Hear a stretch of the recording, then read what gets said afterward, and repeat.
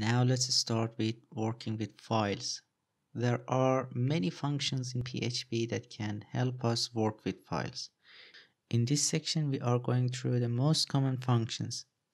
Well, first, let's start with the process of working with files. It doesn't matter if we want to just read the file or we want to write something to it.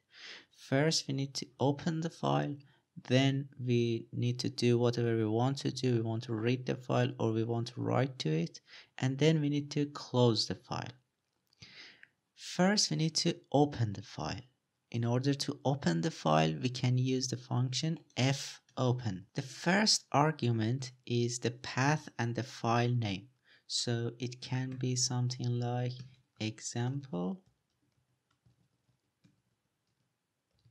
.txt and the second argument is a flag to tell PHP how to open the file.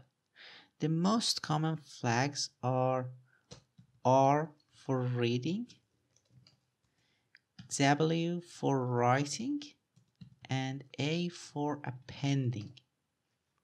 If I open the file for reading, I cannot write to it. If I open it for writing, all the previous data will be removed and the new data will be written to the file.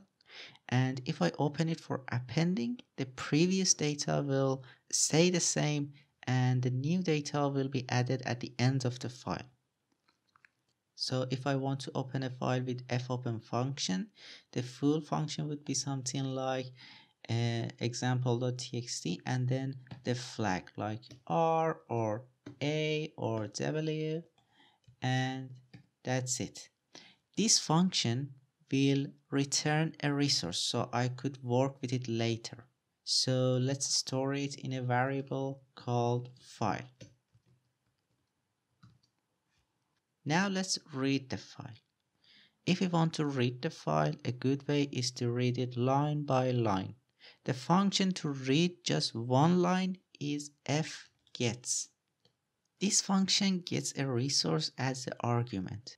Do you remember we stored the resource returned by fopen in a variable? We can pass it to our function here. File. Every time we run this function, PHP will return the line and goes to the next line.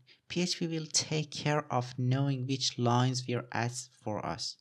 So the first time we run the function, we get the first line. The second time, we'll get the second line. So we can read the first line and second line like this. This would be the first line. And then the second time, we run the same function, but it would return the second line and if there are no lines anymore to read, it will return false.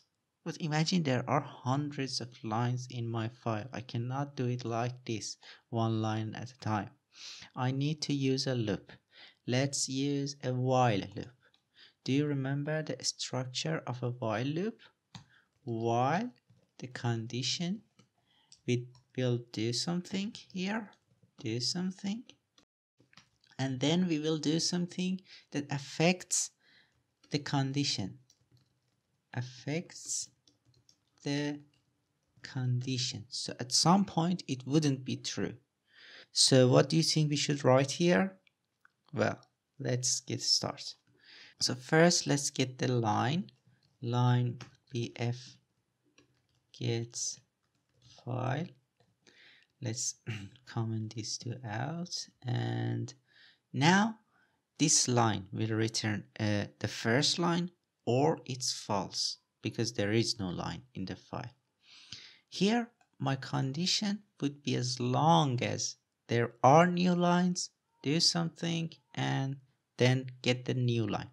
So here, I will check if this is not false, this is not false, do something, and then read it again. So at some point we will reach end of the file. This will be false. So here would be false and we will go out of the loop.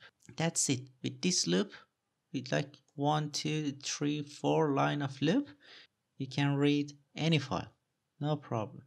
Now let's talk about writing to the file. The first thing we need to make sure of is the flag when we open the file. So here, instead of R, I should use A or W. Now I can write to my file. In order to write to the file, I need to use the function fwrite. Here it gets the resource as the first argument, file, and as the second argument it gets the string that I want to write to the file. For example, hello world. Now you can write all your content at once. Like here I could have a huge paragraph. Or you can call fwrite multiple times. Like hello world. Hello youtube and so on. It doesn't matter if you call fwrite once or many times. It doesn't create new lines in the file. So if i do this at the end my file would look something like this if you want a new line, you should specifically add it. There are two ways. The first one is to add the new line character yourself, which is this. You can add it to the end of your string, but be careful. Right now I have single quotes. If I use single quotes, PHP will simply write this to my file.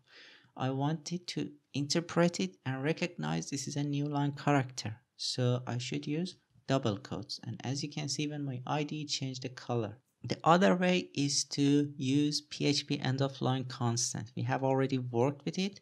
Is PHP EOL that represent new line character. So I can simply add it to my string like this and it will create two lines.